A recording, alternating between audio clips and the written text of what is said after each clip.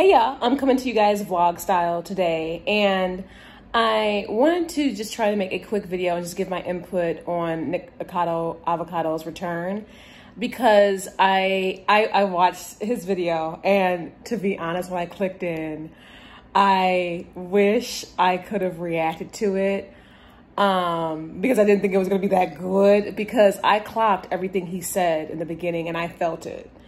Um, and I'm seeing a lot of other responses to it, like obese to beast.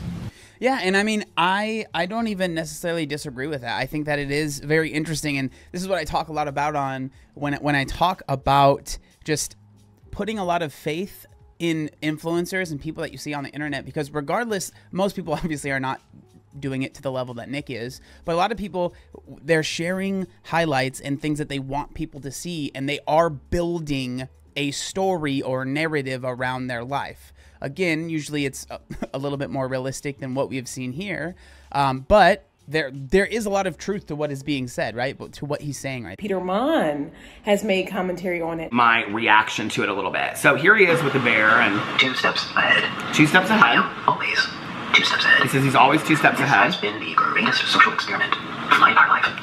It's alluring. It's compelling. It's great. So he's, he goes in there and he says he's two steps ahead. He's always two steps ahead. And this has been a social experiment that he's done. And so you go into it and you're like, oh, so this is the weight loss is a social experiment. So that was like the first thing to me that I was like, okay, this is this is an interesting way to come back and approach all this.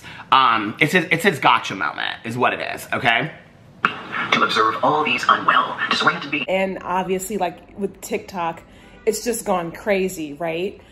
But what I'm noticing, a lot of people when they're providing their commentary, a lot of what Nikocado was going over a lot of people's heads. And I'm just like, how? I, I understand, like, he speaks in a bit of a riddle, like in the beginning of that video, but like if you're listening to him, calling people and his spectators on the internet ants who are easily influenced and easily join hate trains and don't think for themselves and make assumptions and just follow while he's watching because no one knows him in real life. No one knows what he's actually doing. They're just basing their perception off of what he's uploading, whether it's pre-recorded, whether it's, um, you know, something that's leading up to something else. And it's just, it's so interesting to me to see his video go over so many people's heads because I'm sitting here and I'm like, I, I, I clock that.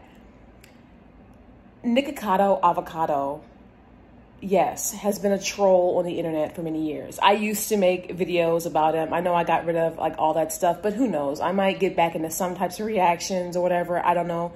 I just do what I want on my channel now. It's just pretty much like literally like free spirited channel, just like whatever I feel, right? And I know he's been a troll for many years. I know a lot of people used to dislike him. I used to kind of go back and forth or whatever, but if it's one thing that you guys have probably always remembered me saying about him, it's the fact that he's so funny. Like he's hilarious. And he is very entertaining. He knows how to put in put on a good show. He knows he knows what he's doing when it comes to entertainment, comedy, drama, he or, or whatever. He knows exactly what he's doing and he knows how to captivate an audience. And yes, sometimes that includes making a complete fool of himself on purpose. That's his prerogative. Okay. And I used to always say that. Sometimes the Orlando stuff I wouldn't be down with because they would be like fighting each other, right? Like on screen. I'm like, I understand he wanted to like push the envelope. And I, I understand that when it comes to comedy, pretty much anything can go, you know, under the umbrella. It just depends. But there are just certain things that me personally, I just don't find funny regardless of how um, you present them or who who is presenting them, right? Um, when I was watching Nikocado's video, I loved it because I feel like more creators and more YouTubers, if you guys have been watching my channel, I've been talking about this mindset. I've been talking about how I think a lot of creators are waking up to the fact that trying to make sure you make all the right moves, trying to make sure you do everything correctly. I'm going to finish the rest of this video voiceover style, but pretty much what I was saying is that trying to appease the audience and all of this, it's it's impossible. First of all, like not everyone's going to like you, and a lot of people make assumptions and sometimes it can be the wildest assumptions like not anything based on fact like sometimes it's not even based on the content that's even presented which is a, a whole different level of, of stupid in my opinion. But it was refreshing to see Nikocado's video because his mentality that of okay I made a spectacle of myself on purpose on the internet. And so many people made their assumptions. So many people judged me. They judged my weight. They judged this. And I've been two steps ahead this entire time watching you and seeing what you're doing seeing what you're saying while working on myself while trying to improve myself. And no one knew because obviously nobody would know because online people can only go off of what you show and tell them. And I think also the perception of what we see online, people often forget that these are pre-recorded videos, content that is anywhere between a few minutes to a few hours out of a 24 hour day. No one truly sees what goes on behind the scenes. It is impossible to know the ins and outs of a creator's life. And that's why sometimes spectating on a creator's life and what's going on in the background and all these things, it's it's it's stupid. I know a lot of people do it for content. I know drama channels um, have done that for content.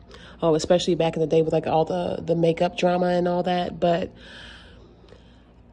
I love seeing this mentality spread, which is, you know, people are going to say what they're going to say, let them think what they're going to think, and I'm going to continue living my life and I'm going to continue doing this, and I don't care. And the entire time, also under Nikocado's return, the cycle it's working because a bunch of channels are covering it. I mean, even me, I'm adding my two cents only because I feel like it aligns with what I've been saying on my channel um, in regards to creators and even musicians because they've had enough and they want the freedom to just be themselves. They're tired of people pleasing. They're tired of even being polite about it. They just want to be themselves and they know that they're going to be judged, but they don't care. But they're no longer trying to people please their audience. When I was watching Nikocado's video, I grasped everything that he was saying.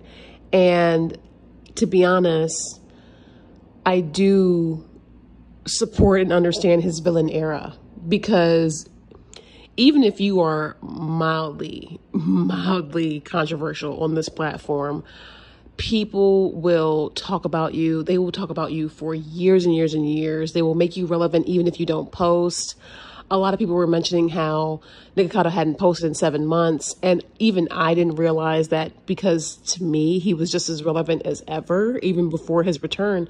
Because even before his return, these weren't the only videos being made on him. Like people were still talking about hungry fat chick stuff from like years ago. Even like little TikToks, you would see clips of like his older videos and things like that.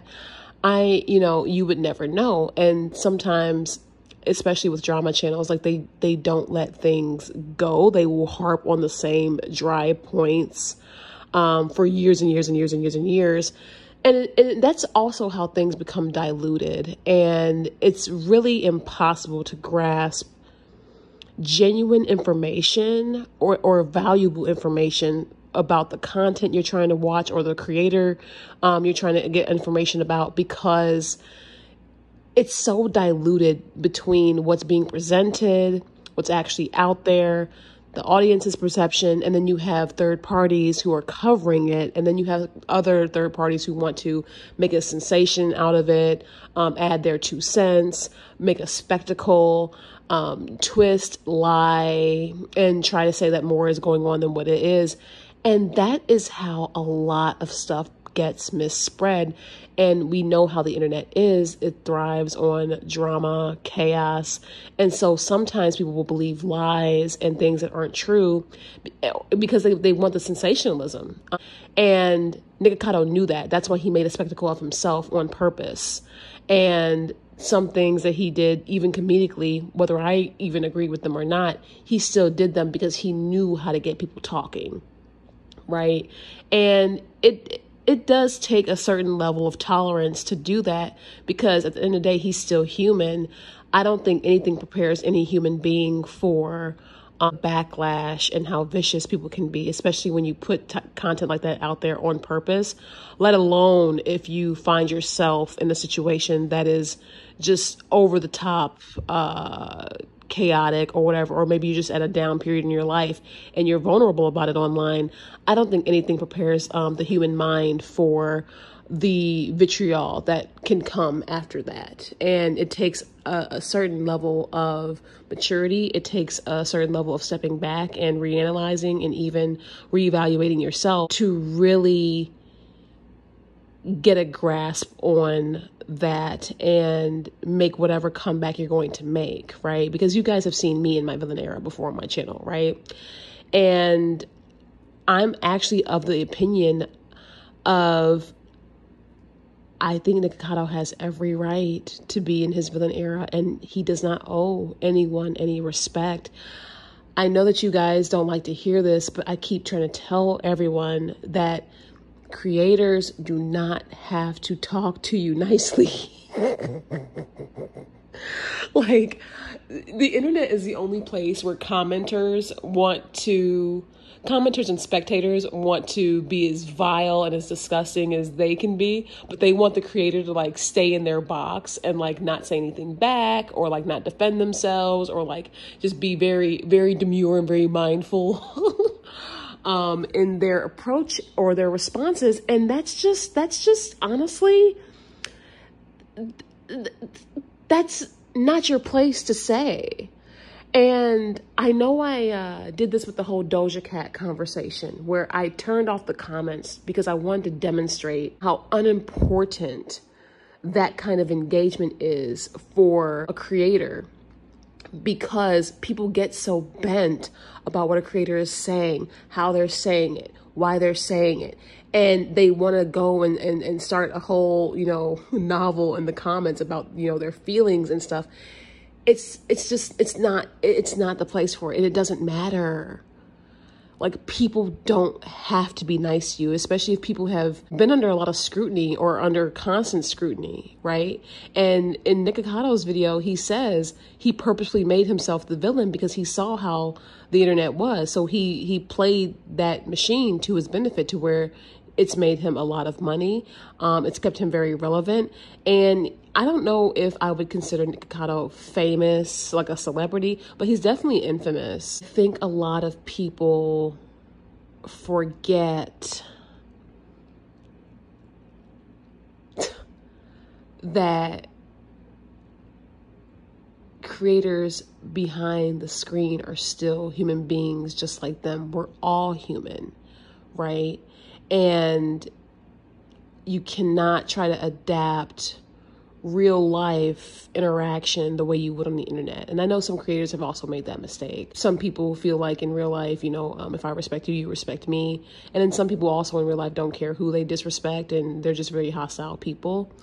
But I think people forget that at any given moment if a creator wants to turn off their comments if a creator wants to maybe just like speak down to people whatever if a creator wants to be in their villain era and and just post offensive content on purpose if a creator it's it's their prerogative. There's no controlling that. That is something that's going to be out of the audience's control the spectators control everyone's. And it doesn't matter your feelings on it or how much you retaliate against it. It's just the way it is. I do love seeing Nikocado mention how easily manipulated and influenced the internet is and how easy it is to rile people up and how drama channels and spectators and things like this kind of add to that toxic mix. I anytime I see a creator talking about it, you guys know I always said I was gonna come on here and, and give my two cents on it because I love to see it. Because I think that we went through a period where creators like myself, we came on here vulnerable, open, just 100% our authentic selves, take the good for the bad, you know, not really knowing how things could twist and turn if I was going through something negative or being seen in a negative light or just dealing with things that I honestly couldn't control myself, right? I don't think anything prepares you for that. And I think we're finally going through a period of where creators have gone through it. They've overcame it. They're in their villain era. They're in their comeback era. Life has gotten better. Things have improved. And now they're back on their bullshit and they don't care because they've been through it. And I think that that's why we're seeing a step back in the people pleasing. We're seeing a step back in the oh well what happened to their old videos? Oh i remember how they used to be. You used to be so nice. You used to treat your audience like this. And it's like that's not old that's not old right? So i don't know. I, I love to see it. I, I think nikocado did an amazing job. I really do you guys go ahead and let me know what you all think of um, the Nikocado video or whatever.